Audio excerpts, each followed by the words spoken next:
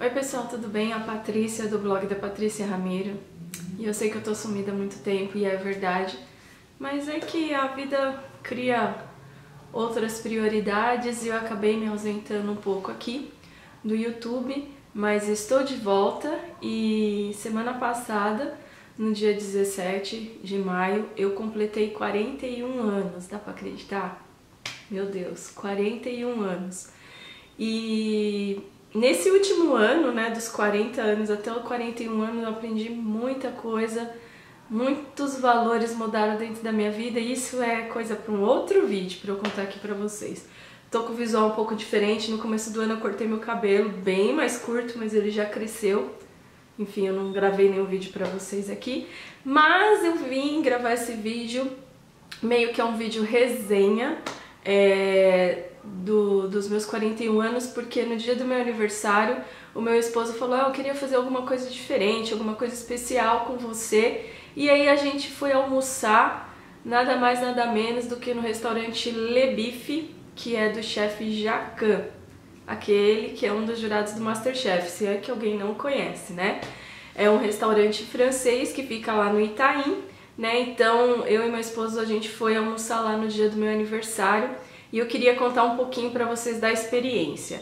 Eu não gravei lá, é, me desculpem se você ficou decepcionado, mas assim, eu não tenho essa... Sabe, eu, eu fiquei com vergonha de gravar lá, de verdade, eu não me senti preparada para gravar lá, mas eu fotografei é, tudo e junto com esse vídeo aqui embaixo no box de informações vai ter um link para o post no blog, onde vocês podem ver o, as fotos de todo o serviço que, que eu participei do dia lá do meu aniversário. Bom, é, você consegue ver pelo site né, do, do Lebife é, valores, os pratos que são servidos, então você vai lá totalmente seguro, sabendo quanto que você vai gastar.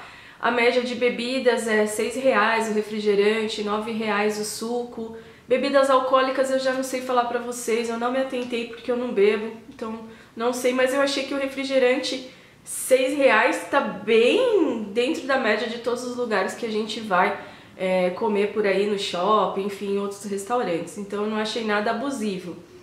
É, eu lembro que sobremesas eram 24 reais. Os pratos eu não me recordo ao certo, mas você entrando no site você vai conseguir ver o valor certinho, tá?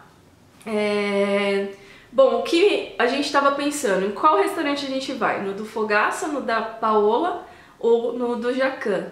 Confesso que para eu poder escolher o do Jacan, o item principal foi a sobremesa. Eu vi lá uma sobremesa no site e falei, meu, hoje, no dia do meu aniversário, eu quero comer esta sobremesa. Então foi isso que nos levou aí nesse restaurante no dia do meu aniversário. Eu até queria ir no restaurante do Fogaça, mas no site eu não consegui ver os pratos, os valores, e aí isso foi um ponto negativo. O da Paola não tinha nada assim do que eu queria comer no dia do meu aniversário, sabe? E aí então do Jacan tinha uma sobremesa incrível, né, ao meu ver, que me levou até lá. E o prato também tinha um prato que eu queria muito comer dele lá, então foi isso que nos levou até o local. Fique atento porque o horário do almoço ele acaba até as 3 horas da tarde, então eu não sei onde você mora exatamente, mas assim, antes de ir, você entra no site, verifica, põe no Waze, no aplicativo que você usa, o caminho para ver se dá tempo de você chegar até o local. Eu deixei meus filhos na escola e saí daqui de Santo André, que é onde eu moro, é, por volta de 1h20. Acabei chegando lá assim, 2h10, então deu tempo certinho, porque o restaurante fecha no horário do almoço às 3 horas da tarde, tá bom? Eu e meu esposo a gente ficou por lá em torno de uma hora, uma hora e dez e fizemos a refeição bem tranquila. É, o restaurante é pequeno, mas é aconchegante, é bem bonito, a decoração. Existe uma área reservada que você pode fechar para fazer algum tipo de evento. Não é uma área muito grande, mas é uma área bacana. E quando nós chegamos, a pessoa recepcionista nos mostrou dois locais porque a gente poderia sentar. Uma mesa eu achei muito apertadinha, eu não ia me sentir bem sentando naquela mesa, então eu escolhi uma outra é, das duas que ela me, me determinou, né? E o único problema mais tarde que eu fui perceber é que essa mesa estava bem na direção do ar-condicionado, por isso eu tô um pouquinho gripada hoje, porque acabei ficando né, mais de uma hora exposta ao ar-condicionado e aí foi ruim pra mim. Mas essa foi a parte ruim assim da experiência, foi o ar-condicionado, né? Os, uh, os garçons são muito atenciosos, né? Nos explicam os pratos, são muito solícitos, então foi muito legal.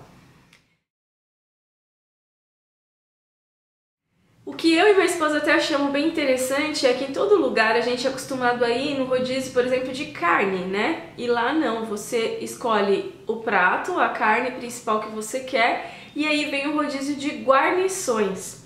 Então vocês vão ver, é, eu vou ver se eu coloco algumas fotos para vocês do início do prato, quando ele vem só com a carne e o acompanhamento que faz parte do prato mesmo. E depois, cada vez que o garçom passava com uma guarnição, eu fui tirando foto a cada uma ou duas guarnições, né, para mostrar para vocês as opções que passaram nesse, nesse rodízio. A única coisa que eu não peguei foi alguma coisa de espinafre, não me lembro agora o que que era, mas eu não tava com vontade de comer espinafre no dia do meu aniversário, então foi a única coisa que eu não peguei. O resto eu peguei de tudo sendo que o que eu mais gostei foi o gratin, né, de batata, é, que nada mais é do que a batata, gratinada, mas estava assim sensacional. E a coisa que eu menos gostei foi o cuscuz marroquino, eu não gostei. Não sei, eu tinha uma outra impressão. Ele é frio, tipo uma comida fria mesmo, tem um gosto muito forte de hortelã, eu não curti, tá? Mas o resto eu curti tudo, até tomate, que eu não gosto, vem um tomate, acho que é um tomate confit, é, gratinado com queijo, tava muito bom, mesmo eu não sendo super fã de tomate, tá certo? Eu escolhi o filé mignon e o meu marido escolheu um outro corte, que é entre... eu não sei falar francês ainda, gente. Eu não sei se é entre corte ou entre côté, não sei falar pra vocês, mas eu vou deixar o nome escrito e quando aparecer o prato dele e e ele escolheu o molho, eu escolhi o molho ao vinho Marchand de Vin, que foi assim que o, o garçom me falou lá, né? Marchand de Vin, era um, um molho de vinho tinto, é, parecia que tinha algumas frutas, algo assim no molho, eu achei muito suculento, muito bom, e o dele foi um, um molho que é super famoso lá no Masterchef, que todo mundo tenta fazer, acho que é o Bernays. Eu vou deixar o nome também. Então eu experimentei a minha carne com o meu molho e com o molho dele também foi, nossa, muito gostoso mesmo. Faz muita diferença os molhos na carne mesmo.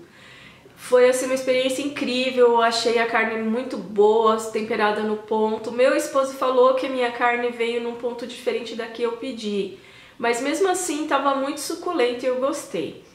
É, o, o corte dele era muito maior, era uma carne um pouco mais assim gordurosa, é, em vista do filé mignon. Eu não gosto de carne gordurosa, por isso eu preferi o filé mignon, mas estava tudo muito bom, uma delícia mesmo.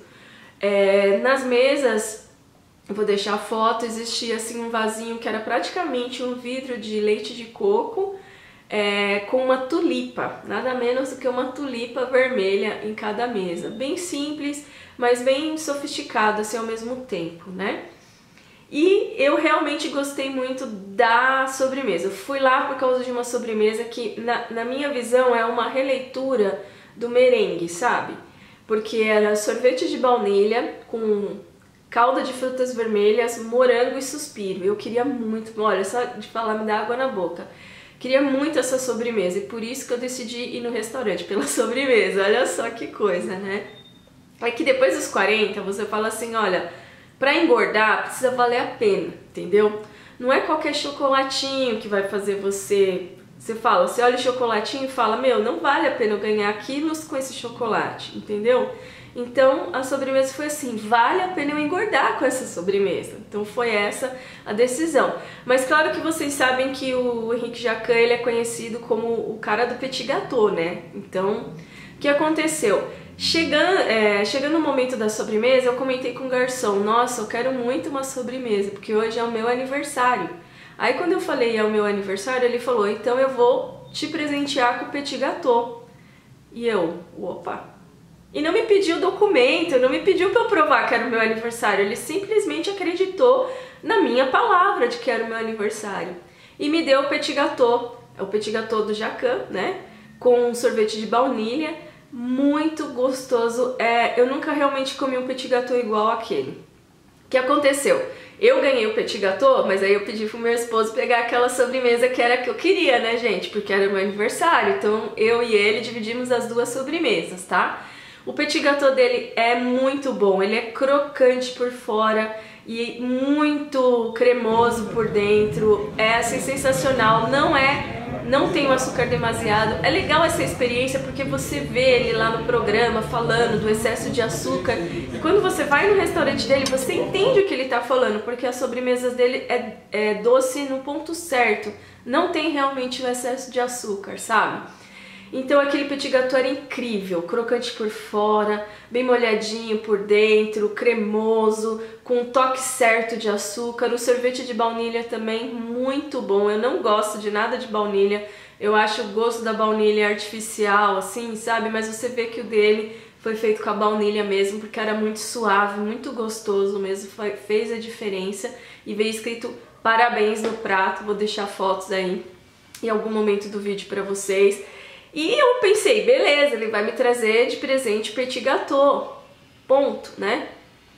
Porque eu já comemorei meu aniversário no Outback, lá é a maior vibração, parabéns super agitado, todo mundo das mesas cantam junto, né? Mas lá é um lugar bem refinado, então eu falei, bom, vou ganhar a sobremesa e só, né? Mas não, veio uns três garçons lá e cantaram parabéns pra mim e colocaram no, na bola de sorvete o, aquela velhinha que sai de é, estrelinhas lá, né, de, de luz. Então foi bem bacana, eu não esperava. Claro que as outras pessoas que estavam no restaurante não cantaram parabéns junto. Claro que a gente já tá entrando no outono e inverno, já tá mais frio.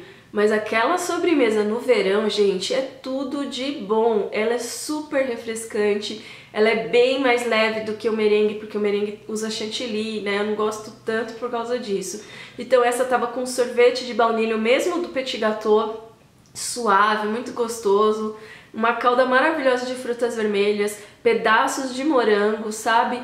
É, e suspiro, eu amo suspiro, gente, é um dos meus doces preferidos, suspiro, eu amo, amo mesmo. Então tava assim maravilhoso. A única coisa que eu é, não gosto muito é hortelã, então tinha algumas folhinhas de hortelã, mas depois eu tirei as que eu encontrei porque eu realmente não curto muito, mas eu entendo que traz uma refrescância no prato. Mas tava maravilhoso. Ó, estou falando aqui pra vocês e minha boca tá com água na boca porque é demais. Então, valeu super a pena, gente. É uma experiência única mesmo.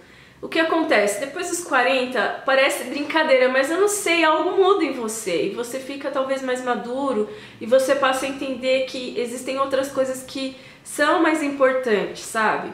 Então, em vez de sair por aí comprando coisas, eu penso, o que eu tô precisando? Ah, no momento eu não tô precisando nada, então eu resolvi ter essa experiência gastronômica, sabe?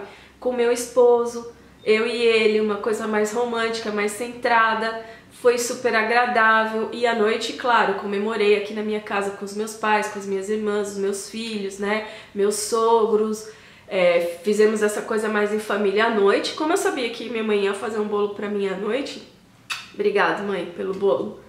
Minha mãe fez o bolo e o recheio meu pai confeitou, tá? Obrigado mesmo, obrigado a todo mundo que veio no dia, né? A todo mundo que me deu parabéns pelo Facebook, pelas redes sociais, né? Pelo WhatsApp, enfim. Todo mundo que se lembrou do meu dia. Então, como eu sabia que a gente ia ter esse momento em família, ele falou: ah, eu queria jantar com você. Eu falei: ah, vamos almoçar, porque a gente já vai. Eu sei que a minha mãe vai querer fazer um bolo pra mim à noite, então aí a gente consegue agradar todo mundo, né? E foi muito legal. E foi um dia muito feliz pra mim mesmo, sabe?